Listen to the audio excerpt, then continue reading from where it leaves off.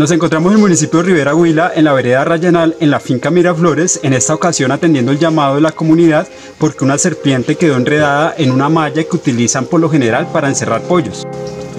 Esta problemática pues se vive a diario y muchos de estos individuos pierden la vida a causa de la misma. Ahorita pues vamos a proceder a liberar la serpiente como ustedes pueden ver aquí ella se encuentra totalmente enredada, no se puede escapar, en caso de que no la liberemos, pues ahí puede perder la vida. Es indispensable que antes de hacer este tipo de procedimientos, pues conozcamos de las especies. En esta ocasión, pues se trata de una serpiente que no es peligrosa, no es venenosa. Eh, su nombre científico es Spilotes pulatus, la conocen como tigra, cazadora, lomo y machete. Y por esta razón, pues vamos a proceder de la siguiente manera.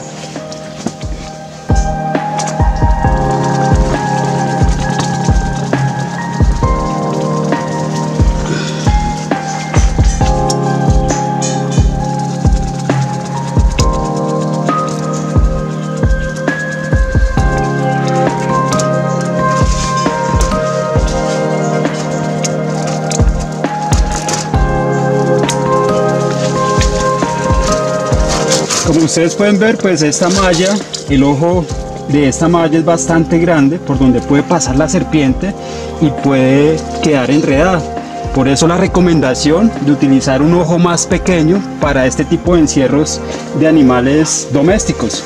Aquí podemos ver la serpiente, es bastante larga, recordemos que esta serpiente pues alcanza a medir 3 metros. Aquí vemos la malla como le queda pues en todas las escamas.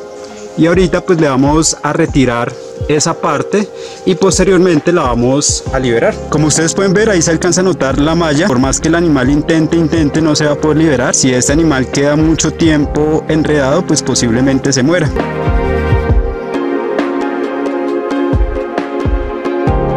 Nos encontramos aquí con Hugo Llosa, eh, la persona que nos llamó para atender este caso la serpiente.